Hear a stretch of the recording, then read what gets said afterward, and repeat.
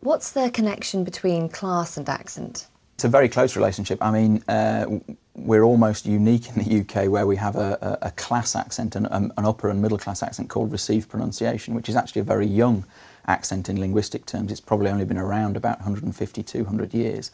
And it emerged in the public schools of, of the 19th century and spread from that point. It was adopted by the BBC in 1922 as the broadcast voice uh, of, of English worldwide. I think in Australia the accents are more um, likely to be different because of the class of the people.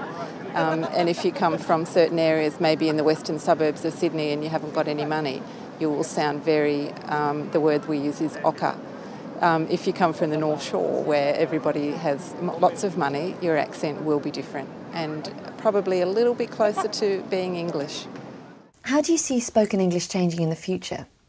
Most people would accept that accents will remain. The fact that, uh, despite a thousand years of evolution, there is still a big difference between, say, a Yorkshire speaker and a London speaker. Um, in another 100, 200 years' time, I suspect there will still be a large difference because language tends to only to change when people come into face-to-face contact with each other.